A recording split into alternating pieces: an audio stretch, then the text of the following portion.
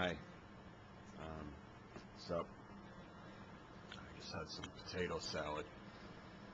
it's pretty good. Um, yeah, I finished it up. took me a few days to finish it. Um, I was at the gym. I worked out for like just about two hours, like I usually do.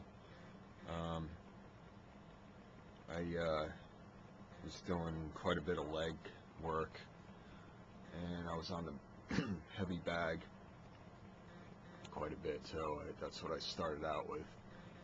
I was uh, hitting a heavy bag for probably a good 20 minutes or more when I first came in.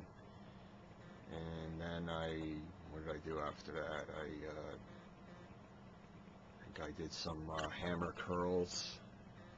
Yeah, I did some dumbbell hammer, hammer curls. I did like just a few sets, you know, just went up, you know, like 30s, 35s, and then 40s, you know, the dumbbells, and uh, and then I went back on the heavy bag, pretty much for probably another 15 minutes or so, and then uh, what I do? I threw in uh, some calf raises while I was curling, like in that in between using like a 40 pound dumbbell and then I did some more calf raises later on in my workout.